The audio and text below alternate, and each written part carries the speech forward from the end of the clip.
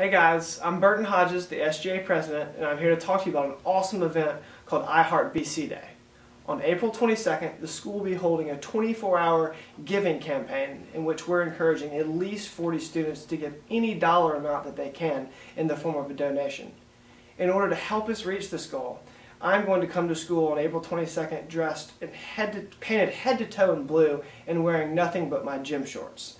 And I hope that you will join me in showing your BC Pride too on that day. But more, we want you to please help. I'm so sorry. I'm so sorry. Get there! Get there! Okay. Just remember, April 22nd, any dollar amount that you can, I'm going to be painted blue, and I hope that you will join me, and let's show BC some love.